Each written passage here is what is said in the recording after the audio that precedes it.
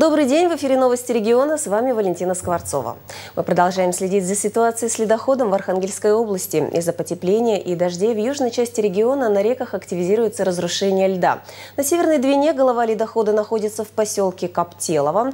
Подвижки наблюдаются и в районе поселка Абрамково в Красноборском районе. Прохождение ледохода в Двинском Березнике ожидается 24-27 апреля. На акватории порта Архангельск продолжаются ледокольные работы по взлому ледостава в рукавах дельты. Все переправы в Архангельске разобраны, лед взломан, работают буксиры. До 26 апреля продлен прием заявок от населения на благоустройство дворов. А затем будет составлен список адресов, по которым начнут обустраивать дворовые территории. Перечень объектов, попадающих под благоустройство парков и скверов в Архангельске уже известен.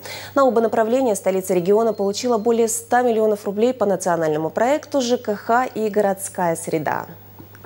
От возможности благоустроить свою территорию за счет федеральной программы ЖКХ и городская среда не отказались ни в одном округе Архангельска. Активные рабочие группы направили в городскую администрацию свои проекты. В итоге у нас поступило 16 заявок. Э, мы все их вывесили на сайт для голосования. Они были выдвинуты точно так же инициативные группы общественным советом в округах. Голосование на сайте город администрации прошло некорректно. Так, за один из проектов умельцы нагнали больше миллиона голосов. Комиссия, конечно, ознакомилась с этими результатами, но сделала свой выбор. Победителями стали проекты по благоустройству сквера у культурного центра «Северный» и территории проспекта Чумбарова-Лучинского.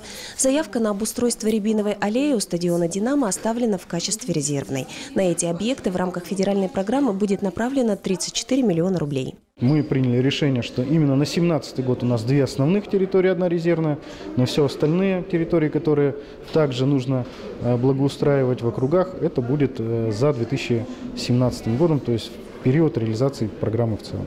Программа ЖКХ и городская среда рассчитана до 2022 года. За это время в администрации города планируют реализовать минимум по одному проекту благоустройства территории в каждом округе Архангельска. Организация летнего отдыха юных поморов стала темой совещания представителей профсоюзных организаций Архангельской области. В работе приняла участие депутат Государственной Думы Елена Вторыгина. Напомню, в этом году детский летний отдых будет организован по новым правилам. Теперь каждый лагерь должен быть включен в специальный региональный реестр. Прежде это было не обязательно.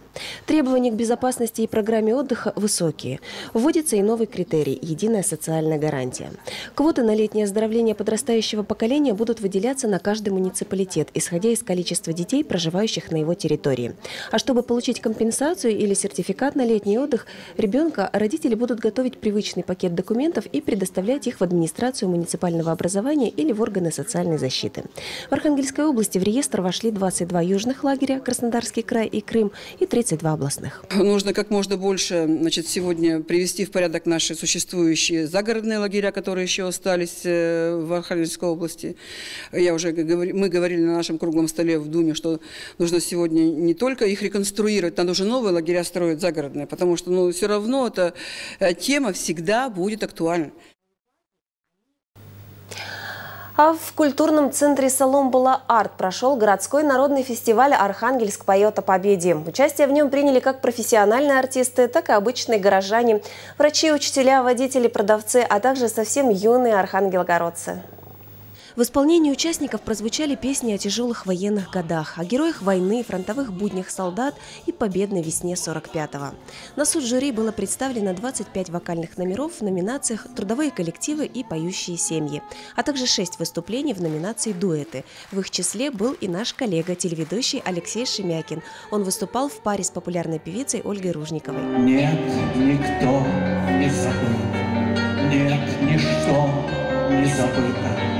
Испытания, потери и жизни ушедших солдат. Исполнение песни «Ветераны уходят» было удостоено сразу двух наград – приз зрительских симпатий и первое место в номинации «Дуэты».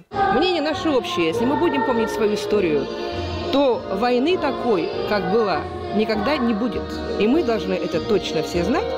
И мы с Алексеем это в песне и выразили. Да, мне вообще в жизни очень повезло. У меня было два деда. Один из них дошел от Москвы до Праги, а второй дошел от Курска до Берлина. Один был пехотинец, второй танкист. И вот эта песня говорит о том, что я их помню, я их чту, и я всегда буду их помнить. Среди трудовых коллективов лучшим был признан детский сад «Ветерок». Первое место в номинации «Поющие семьи» завоевали Людмила и Савелий Шкаевы. Участники встретятся вновь 9 мая на площади мира у Вечного огня, где пройдет концерт в рамках фестиваля «Архангельск поет о победе».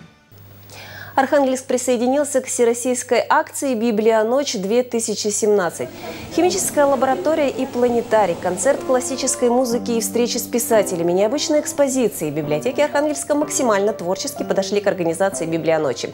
Например, в Добролюбовке темой вечера стало новое прочтение. Цель акции – показать, что мир книги – это не скучно, интересно и крайне познавательно. И архангелогородцы поддержали именно такое прочтение. Более трех тысяч человек побывало в библиотеках города вечером 20 1 апреля. Эта акция говорит о том, что на сегодняшний день библиотека э, сломала, так скажем, стереотипы, что это только выдача книг. На сегодняшний день наши библиотеки стали мультицентром э, культуры определенной, потому что помимо выдачи книг здесь проводится э, большое количество мастер-классов, э, мероприятий, э, выставок и так далее.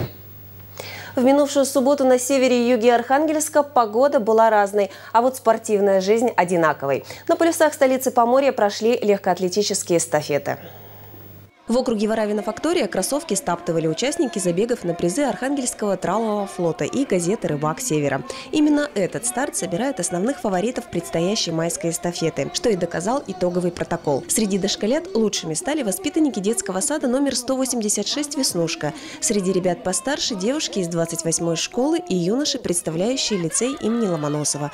Все вышеназванные – действующие чемпионы майской эстафеты. Мы готовимся постоянно, понедельник-четверг в манеж ходим. На физкультуре нас гоняют очень сильно. Если эстафета в округе Варавина Фактория прошла уже в 35-й раз, то Соломбальская отметила полувековой юбилей. В этом году она запомнится как минимум одним рекордом. Количество участников перевалило за тысячу. Это лучший показатель за многие годы. Пока на этом все. За развитием событий следите на телеканале ПС. Следующий выпуск новостей в 16 часов. До встречи.